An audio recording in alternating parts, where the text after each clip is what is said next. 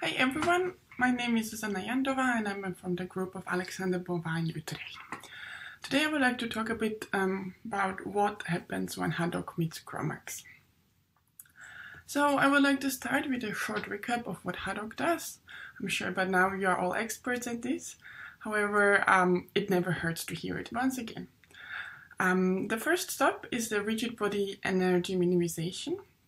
And this is the step where you have two proteins that are very rigid, they are being separated in space, rotated and translated, and then um, being pulled together by the restraints you define, ideally um, derived from the experimental information you have. The second step, you give the interface a, big, a little bit of push, so um, you will have a tiny bit of dynamics on the interfacial residues where they have the chance to rearrange, and so you can avoid some steric clashes. And the last step that uh, was previously a refinement in the explicit solvent, it can be still set also in the new Haddock version. However, now it's been more abolished by default by just energy minimization. The last step, which is technically not a part of docking, but it's still quite important, is the analysis of your results. So in this step, you would rank all the models, cluster them, and then you can um, compare them, compare the energetic, um, energetic terms, and then it's much easier to look at individual clusters than 400 models one by one. All of these phases, especially the ones in the beginning here, can be um, called uh, sampling, right? Because you sample different conformations and then you can refine them a little bit. But a very important step as well is scoring. So scoring is the way how you um, basically move between those stages. That's the criterion on which you would pick the best models from each of the stage to go to the next one. And this criterion is called the Haddock score. As you can see, it is um, it slightly changes between the steps. However, um, you can also manually modify so mm, depending on the scenario you are working with, you can slightly change the Haddock score, but keep in mind you don't really change the docking procedure, you just change the, the ranking of the models that will be taken to the next phase. Right, so now when we know more what sampling and scoring is, I would like to show you how we can incorporate MD in both of these stages. So as I said in the beginning, you talk to rigid proteins, right? But there's nothing in nature. Proteins are not rigid either. And sometimes you, you would need a higher conformational change be before the binding. So you would need a little bit of um, yeah, rearrangement of the proteins or residues. Um, and sometimes this change is larger than what even the flexible phases of Haddock can take care of. This is the first part of my talk where I will be talking about using MD before that, um, and this will be on the antibody use case. The second part, I will address the scoring part and more specifically um, the case where we have um, similarly ranked clusters or different clusters, but you then don't know which one to pick and if MD can help us with this. So let's go to the first part. Um, this is also a BioExcel part called um, use case one, antibody design, and um, as you can guess, we work with antibodies. Um, I guess all of you know what an antibody looks like. Basically, it's this Y-shaped protein consisting of a constant region. This constant region I have written here low immunogenicity. It means that if um, human antibody would be injected into your body, there should be a relatively low chance that your own body would um, develop antibodies against the injected antibody protein. What is, however, very powerful about antibodies is the very variable region. And this is um, more specifically the hypervariable loops on the very interface or very end of the variable region. And this is the um, kind of the tool with which antibody can change the sequence or conformation of the loops and target antigens of different nature. Um, Right, so this is somehow the workflow we have in BioExcel. What would Haddock do? You would have the gray antibody here and the yellow antigen here, and by default you will dock these two rigid proteins. However, as I said before, sometimes you need um, conformational rearrangement before binding. So this was the case also in this antibody here, where you see that the unbound hypervariable loops in magenta look very different to the ones in bound state, the these blue ones. And this change didn't really work in Haddock. However, we simulated it with GROMACS, and now I would like to show you some first results. Right, so these are these two workflows we were working with. This would be the default, default Haddock um, scenario where we took two unbound structures. But what we tried is that we took now the unbound antibody crystal structure, simulated in GROMACS. Um, this trajectory was then clustered based on the, based on the conformation of the loops, and these clustered uh, clusters were then uh, fed into Haddock. So we used this ensemble docking option and then um, I would like to show you the results now. And this was done now for complex 7 antibody antigen complexes. Right, so the first result you can see here. And these kind of plots show you basically the model quality versus the model ranking. So in the ideal scenario, you would like to see a correlation like this. So you would like to see um, something where the highest quality model would gain the lowest Haddock score. However, um, as you can see, it, this is not always the case. You can see that it's more um, spread, right? So you would have a lot of excess, um, acceptable quality models, but they are being um, ranked differently. This was the scenario without MD, and if we look at uh, after MD, we see that we have more models in the medium quality field. So this is quite an improvement, right? Because you don't have so many medium quality models here. However, you see that the score still remains problematic because if you have a Haddock score of let's say minus 80, um, you don't really know if your model is good or bad. And uh, these are these two plots where we look at the, these results in a bit different way. So we look at um, in which of the top X clusters um, or top X models um, ranked by Haddock, you would have at least one medium, acceptable, or high quality model. And you see that in the uh, case after MD, we see a slight improvement because in also in the top 10 and 20 Haddock models, we would have more accept, more medium quality um, models compared to the scenario without MD. However, this doesn't always work very well. So you see that in the scenarios I showed you, um, the antibody I showed you before, 3v6z, um, even after MD, it seems rather bad, right? You see it's rather even worse than before. Um, so what we did, we applied this accelerated weight histogram. We used the enhanced sampling analysis, and this is the case where the antibody would be pulled pulled apart from the antigen and then um, would sample the interface loops, right? So you would have maybe even better sampling. Um, this was the workflow we used, and you see that the results are significantly improved. So now we are more in the medium quality field. And this was rather encouraging. Um, so with this, I would like to conclude the first part of my talk, where um, we see that MD before docking does improve the sampling.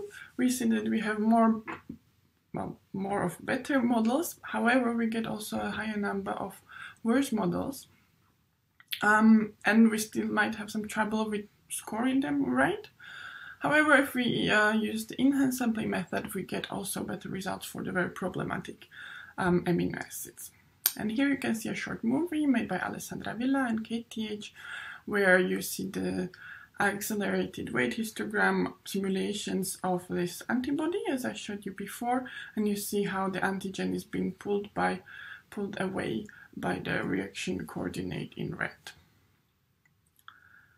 Right, so let's come to the second part of my talk which is called um, native or non-native so we want to identify which cluster is native.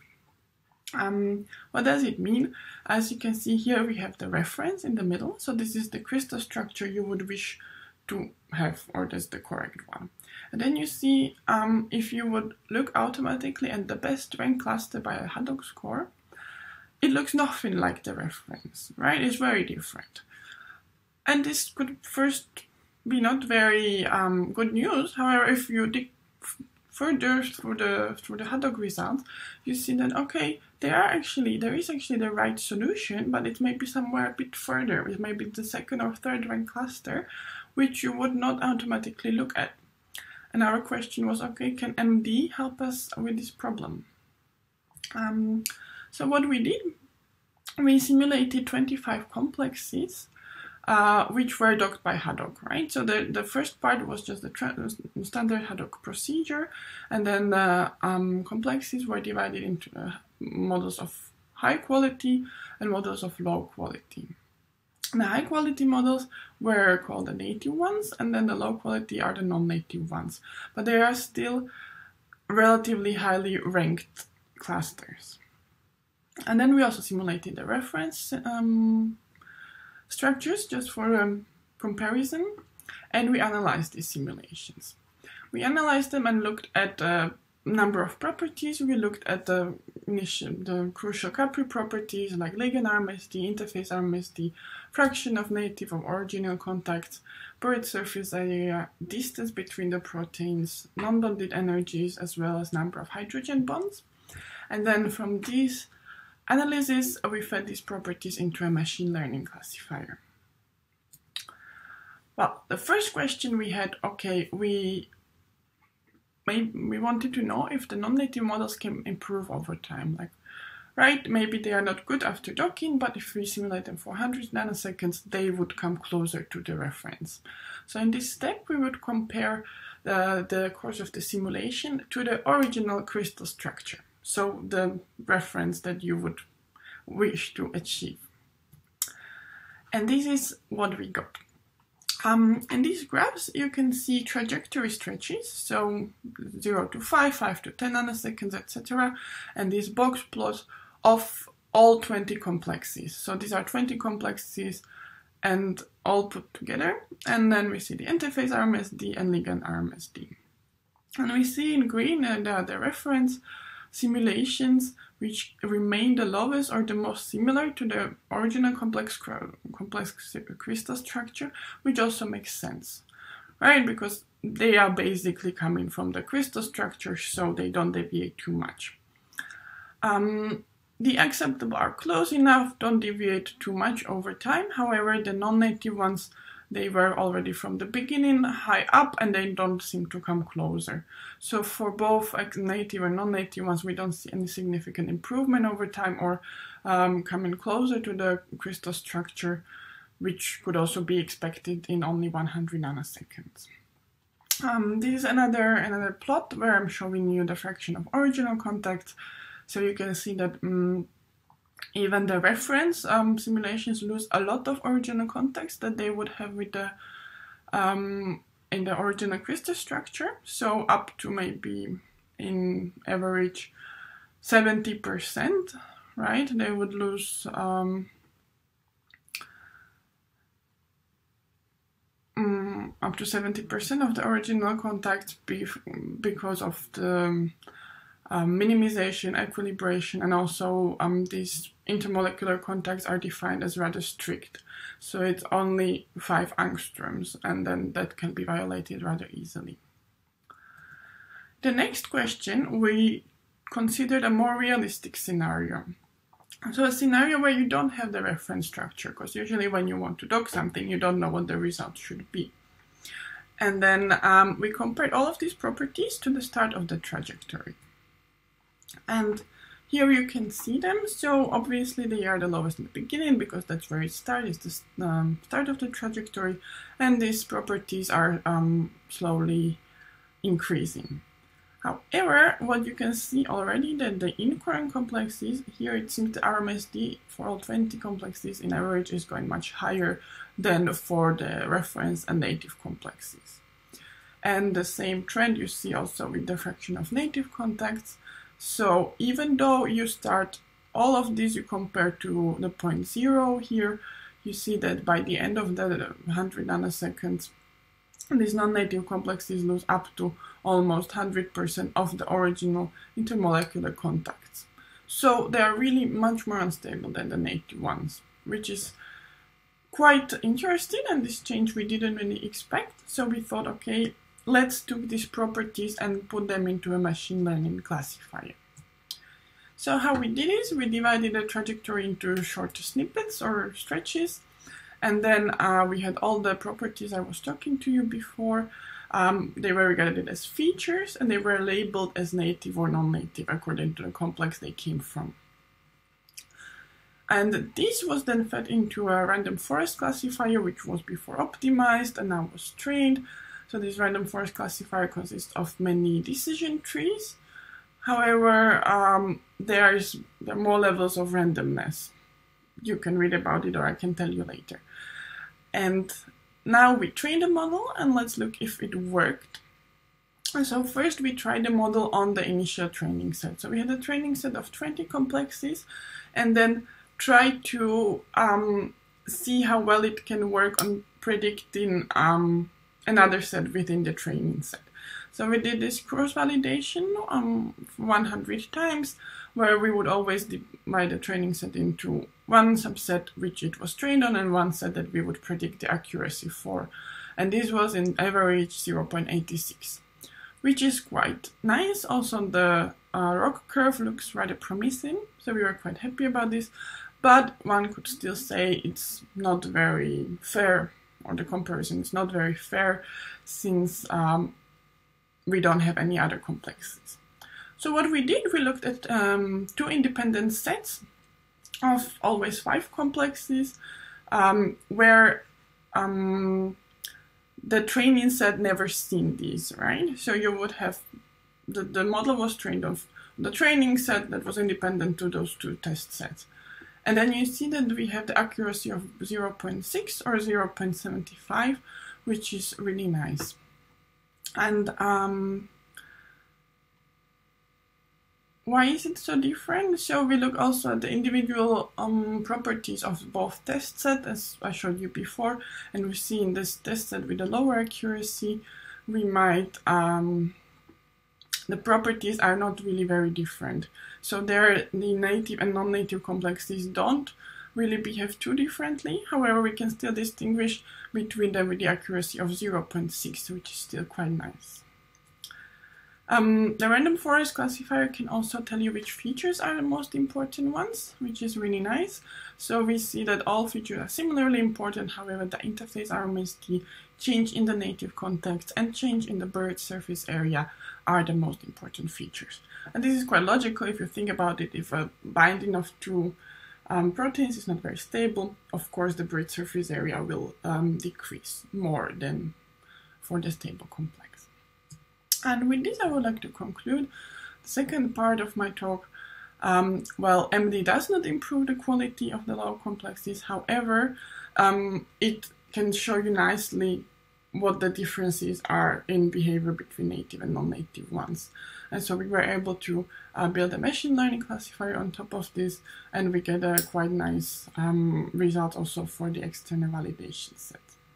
And these little movies, they're just an example of uh, behavior between those two models. So we had a native one and non-native one, and here you can see how it really unbinds already after maybe 30 nanoseconds.